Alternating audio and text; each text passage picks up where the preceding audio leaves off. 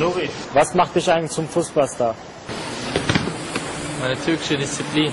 Und du, Mesut, was lieben deine Fans an dir? Meine deutsche Spontanität.